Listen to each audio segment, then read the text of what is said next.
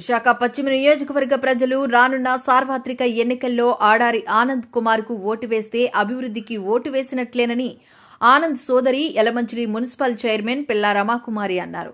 GVMC అరవై రెండో వార్డులో ఎన్నికల ప్రచారంలో పాల్గొన్న ఆమెకు ప్రజలు అడుగడుగునా పువ్వులతో హారతులతో ఘనస్వాగతం పలికారు.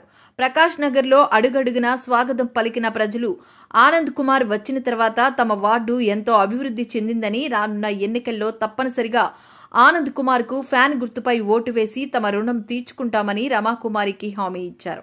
ఈ సందర్భంగా రమాకుమారి మాట్లాడుతూ ఏడాదిన్నర కాలంలో ఎంతో అభివృద్ధి చేసిన వైసీపీ ఎమ్మెల్యే అభ్యర్థి ఆనంద్ కుమార్కు వైసీపీ ఎంపీ అభ్యర్థి బొత్స ఝాన్సీకి ఫ్యాన్ గుర్తుపై ఓటు వేసి అత్యధిక మెజారిటీతో గెలిపించినట్లయితే జగన్మోహన్ రెడ్డి ముఖ్యమంత్రి అవుతారని ఆయన ద్వారా రాష్ట్రం అభివృద్ధి చెందుతుందని ఆమె వివరించారు.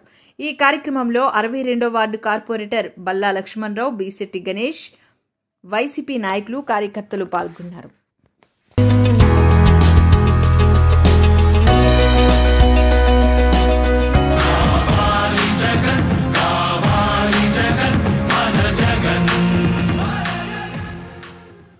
ఒటెత్తి కదిలింది ఒటెత్తి కదిలిందే ఒటెత్తి కదిలిందిర పశ్చిమ జన సంద్రం ఆనందం వస్తే ఎనలేని ఆనందం.